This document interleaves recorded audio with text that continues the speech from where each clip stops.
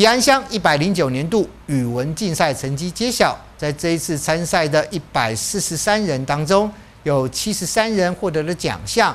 十六号的下午是在乡公所二楼清明堂进行了颁奖表扬活动。乡长尤淑珍肯定获奖的学生，并希望代表吉安乡参加花莲县比赛的二十五名选手都能够旗开得胜，为学校和吉安乡来争光。借由各位的掌声来恭喜张国小又安同学。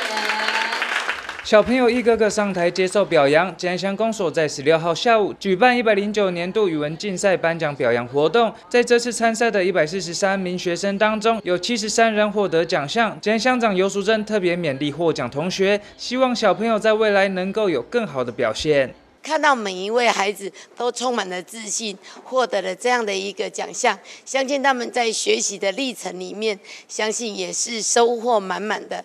也要代正式的代表我们吉安乡公所到我们的花莲县来参与我们的县赛。我们相信每一位孩子的养成，必须要我们积极正向的来作为一个鼓励。未来在我们的这个课语的传承，还有我们原住民的语言族群共荣的推展，我们也希望能够挹注到各个学校里，让学校跟我们开启一个横向联系，共同为孩子多元学习的这样的一个努力来铺陈。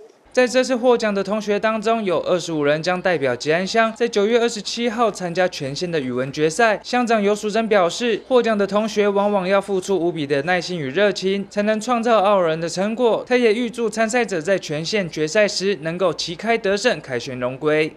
记者徐立琴吉安乡报道。是哟。